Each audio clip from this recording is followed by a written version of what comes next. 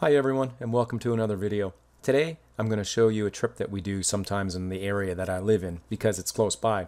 Uh, we start off in East Mountain in Colchester County and we drive about 65 to 70 kilometers north up towards Tatamagouche. We have lunch at a restaurant called Big Al's and then we turn around and take the same route back. There are a few different variations. I've seen other people do a few loops and so forth, but it requires driving on the road a bit in some of those places. So I just kind of go up one way and then backtrack the other way.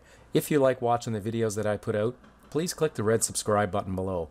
And then once you click the red subscribe button, hit the little icon that's next to it. That will notify you of every time I upload a new video. Thank you.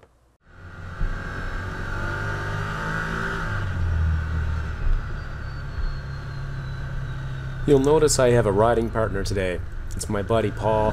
Usually he takes his own machine. At this point he was driving a Kawasaki Teryx 4, but on this day uh, his son's driving it uh, with his girlfriend, and Paul came with me. And um, Paul has since this video, uh, since I filmed this video anyway, uh, traded in his Kawasaki Teryx and got a CF Moto Z-Force 1000. Uh, you'll see that in some of the Newfoundland videos that I'm going to post uh, later on in the fall here.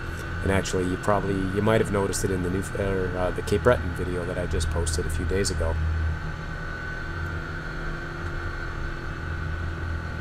Something else you've probably noticed is that I'm driving with my windshield in uh, in this video, which I usually don't do unless it's cold, uh, like the winter time. But uh, this was one of my first rides uh, earlier this summer, and I hadn't had a chance to take it off yet. Yeah. And there was a lot of rain that night and that morning, so I figured there'd be a lot of big puddles. So I decided to just leave it on to uh, protect us a bit from uh, from some of the puddles we were no doubt going to be hitting pretty hard.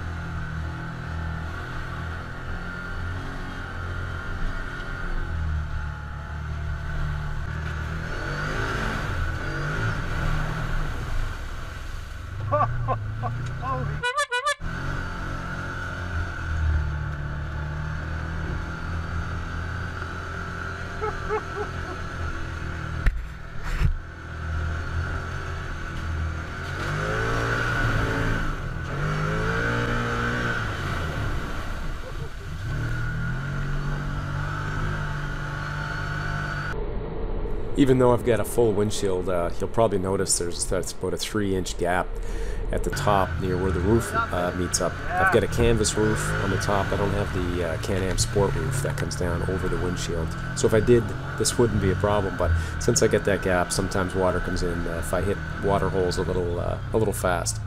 The girls all have t-shirts on. Well, the back one is okay.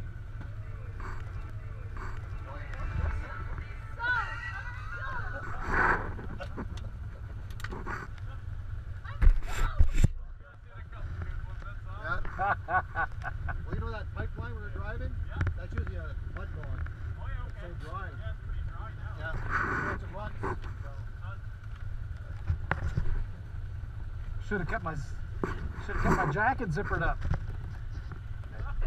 Yeah, just enough water comes in through here.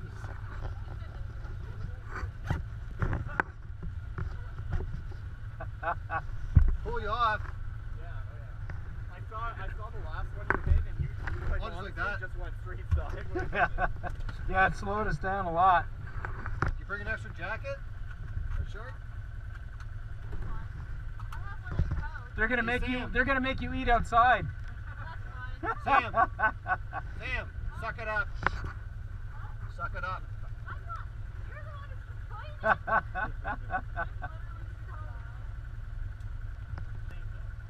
Look at you all dry.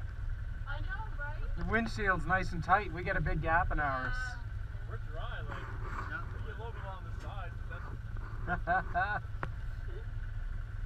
Woo!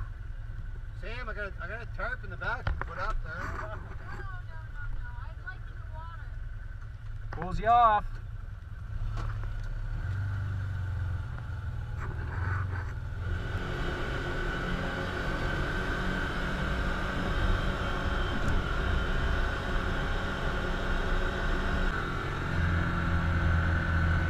You see that's loose? Definitely one of the problems with having a full windshield on a Can-Am Commander uh, is cab heat. Um, it gets really hot there. If the weather's warm, it traps it all in. Uh, because of where the engine is, you're basically sitting on top of it in a Can-Am Commander. It gets pretty warm in there.